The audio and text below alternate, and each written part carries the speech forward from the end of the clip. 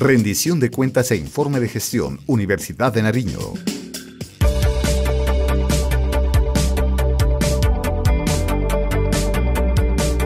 Los docentes de la Universidad de Nariño constituyen un factor fundamental para el desarrollo académico.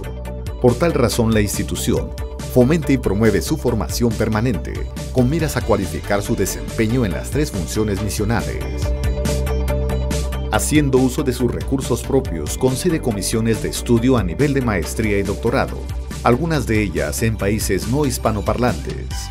De esta estrategia de cualificación se benefician tanto docentes de tiempo completo como de hora cátedra.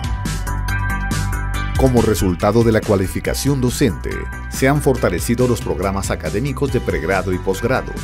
Se ha incrementado la movilidad nacional e internacional de los docentes y se ha mejorado sustancialmente la productividad académica. La Universidad de Nariño vincula a sus docentes a través de convocatorias nacionales o regionales, según si la vinculación es de tiempo completo o de hora cátedra. Para el caso de tiempo completo, la institución contrata la elaboración de pruebas con universidades acreditadas de alta calidad.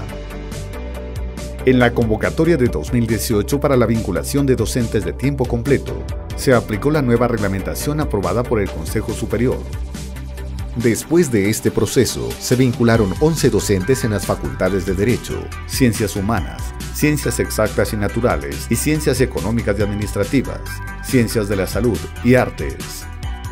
Es política institucional reemplazar las plazas de docentes que se jubilen o se desvinculen de la institución. Como fruto de las políticas de mejoramiento docente, los profesores realizan publicaciones en revistas internacionales, diseñan software para diferentes usos, producen libros y artículos, producto de investigación y visibilizan su producción artística.